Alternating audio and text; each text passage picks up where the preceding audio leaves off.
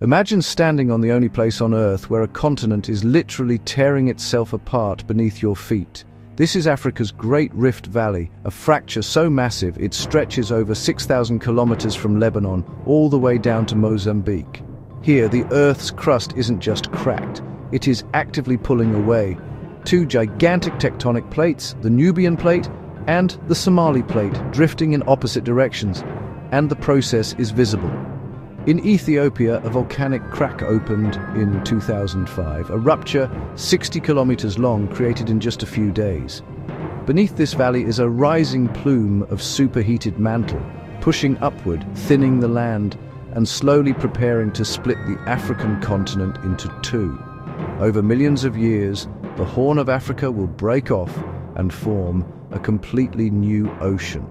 Future generations will see shorelines where grasslands and villages stand today. But right now, the Rift Valley is alive with volcanoes, earthquakes, freshwater lakes, and some of the most biodiverse landscapes on Earth.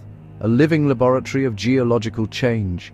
If you want more mind-shifting stories about Africa's ancient past, hidden wonders, and unbelievable scientific mysteries, hit subscribe, share this video, and keep exploring the world with me.